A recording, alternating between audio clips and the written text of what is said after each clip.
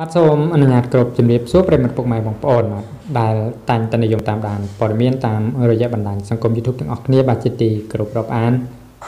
បាទគណៈពេលនេះរៀនញូសូមលើកយកនៅព័ត៌មានសង្គមមួយទៀតមានចំណងជើងថាបញ្ជូននាយអាវុធហត្ថខេត្តបន្ទាយមានជ័យ2នាក់ទៅតុលាការក្រោយពីបានវាយធ្វើបាបលើលោកបាទ បណ្ណមុននេះបន្តិចនៅលើបណ្ដាញសង្គម Facebook របស់លោកផាញ់បណ្ណៈបានរៀបរាប់ថាខាត់ខ្លួននាយអាវុធហត្ថខេត្តបន្ទាយមានជ័យ2នាក់ទៅកាន់តុលាការ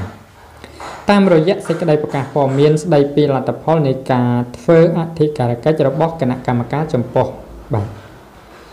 កិច្ចកងរាជអាវុធហត្ថលើផ្ទៃប្រទេសសមត្ថកិច្ចកងរាជអាវុធហត្ថលើផ្ទៃប្រទេសបានរកឃើញថាលោកវរៈស្នេហ៍ឯកបាទ សប៊ុនសឿនមេបញ្ជាការរងកងរាជអាវុធហត្ថខេត្តបន្ទាយមានជ័យនិងលោកអនុស្នេហ៍តូឆយរតនាបាទ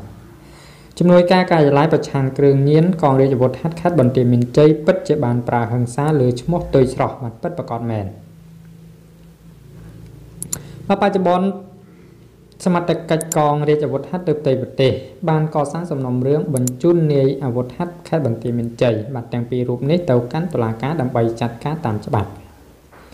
បកគូបញ្ជាក់ថាគ្រួសារសពទុយស្រស់បាទបានប្តឹងទៅស្ថាប័នពាក់ព័ន្ធថាប្តីរបស់ខ្លួនឈ្មោះទុយស្រស់ត្រូវបានសមត្ថកិច្ចអាវុធហត្ថខេត្តបន្ទាយមានជ័យ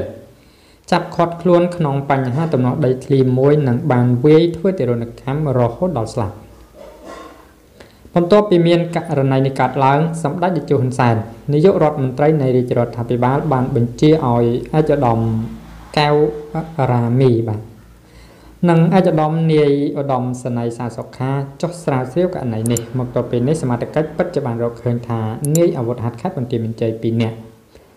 បាទខាងលើពិតជាបានប្រើអំពើហិង្សាលើឈ្មោះទុយស្រស់ពិតប្រាកដមែនបាទបាទសម្រាប់ព័ត៌មាននេះ គឺបាទមានត្រឹមតែប៉ុណ្ណេះបាទចុងក្រោយសូមអរគុណសូមជម្រាបលា